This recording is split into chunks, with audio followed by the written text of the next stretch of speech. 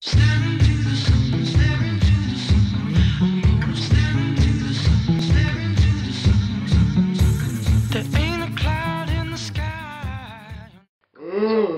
off. I say showed off.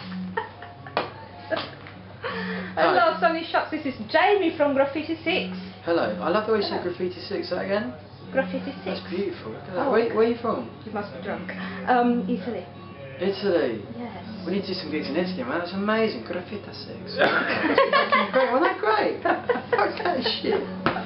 I'm available for the next advertising campaign. You could just like follow me around and say, introduce me on camera. I come in off the back, hello. The non non Italian. That's amazing. Thank you.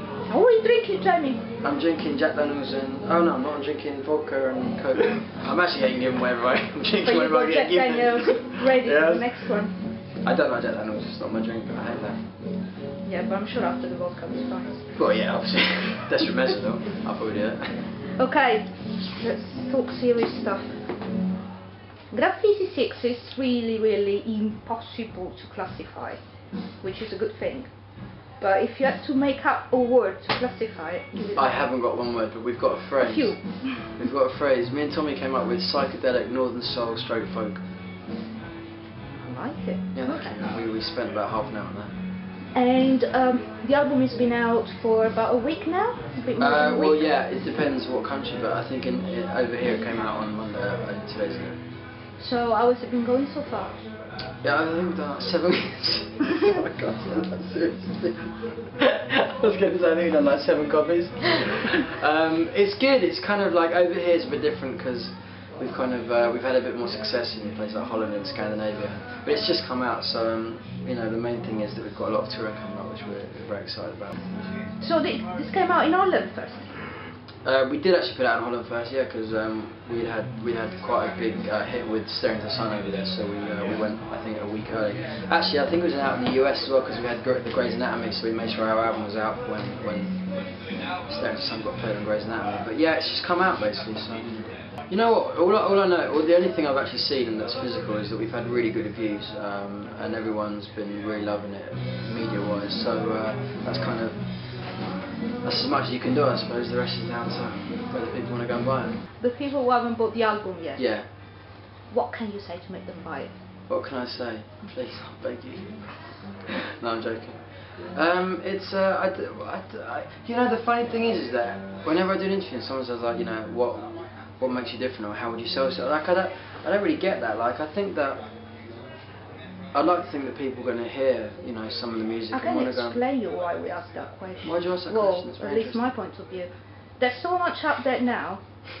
There's all the MySpace. There's so much that comes on our desk Yeah, but if your music stands out, it stands out. You shouldn't have to. Yeah, but you have to listen to all of it to make to, to know if it stands out. There are not enough hours Well, no, in the not day. your, you not have your no listeners. idea. Not your listeners, because your listeners will be watching this, and I'm talking about Graffiti 6.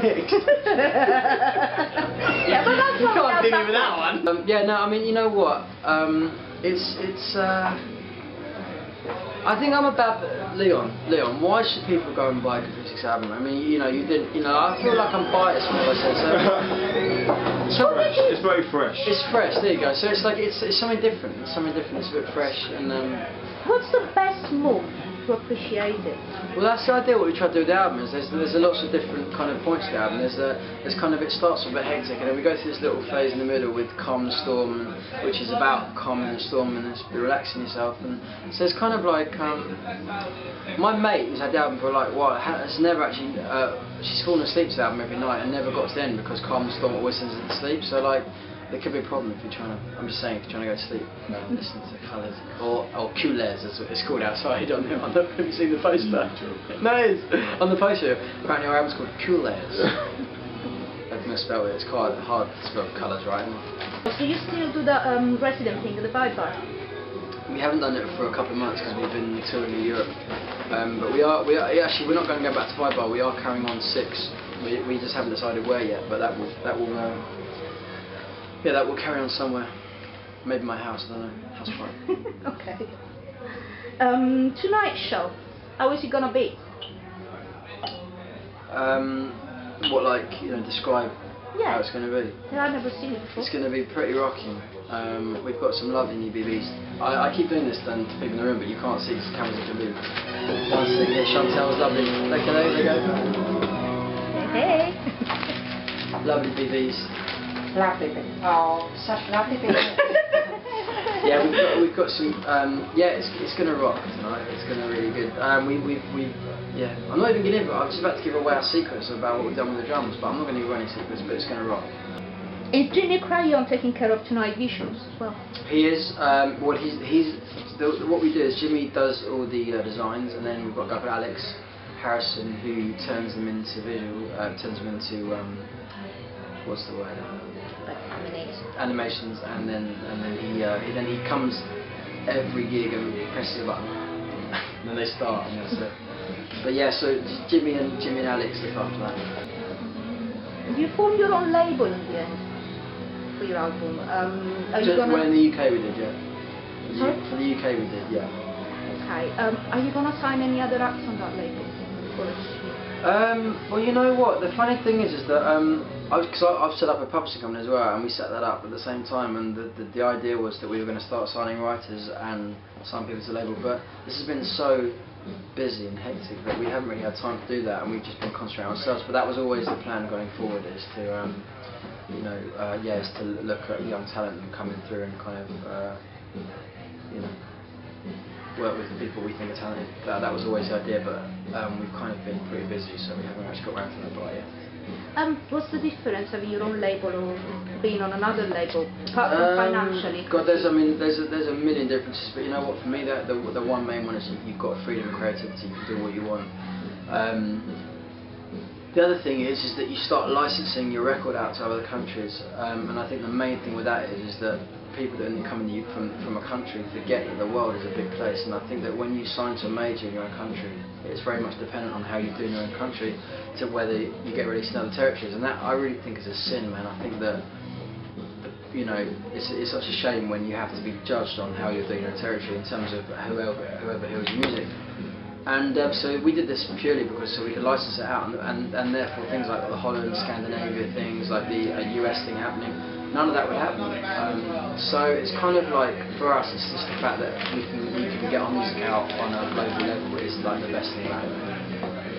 You had another thing going on before Graffiti 6, James the Town, was it? Mhm. Um, is that still going on? Or No, um, no. 100% Graffiti 6? Too much? I was like, how can I, how can I like, elongate that after out? No, no. No. Uh, no, like we did. I did. I mean, I did. I like my. We were. We did quite well out in Europe and in Asia. So we, we. I was kind of like touring that when I met Tommy, and Tommy kind of wrapped up his production for other things at the same time as I kind of finished off touring that album. And I, I, I've actually written the next album that I will do as that, but not. Um, there's nothing happened with it yet. So it's, it's all. It's all. Uh, it's all six now. What do you do in your spare time apart from um, drinking Heineken or reading the Sun? Which I do neither. Don't say it! No, I do. I drink a lot of Heineken. I always drink the sun. Um, I what do I do? I um, well, I like to eat sandwiches. Um, I like to eat fruit. I like to eat dried fruit. Um, I hang out with my mates in the band. We all hang out playing games. I go on BBM quite a bit. Um, I watch DVDs. Uh, sometimes I just get my friends around and talk about stuff. We just talk about things, uh, hang out, play ball games. I love being quite active, you know. I get quite bored. If like I'm, sti- I'm, I'm, if I'm sitting down for too long, I have to be doing something. So ball games is a, Scrabble. Scrabble's a great game. Twister.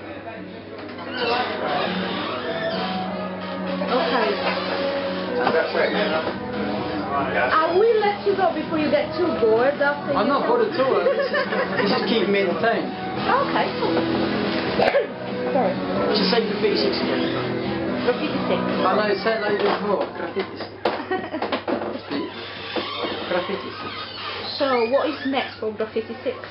56. Um, next we we're going on. We got a sold out tour of Holland this month, and then we go to New York um, to do a show in the Rockwood Music Hall, um, and then we um, and then we go to yeah we got a gig in Copenhagen, Belgium, Stockholm, and we're back, then we're back home.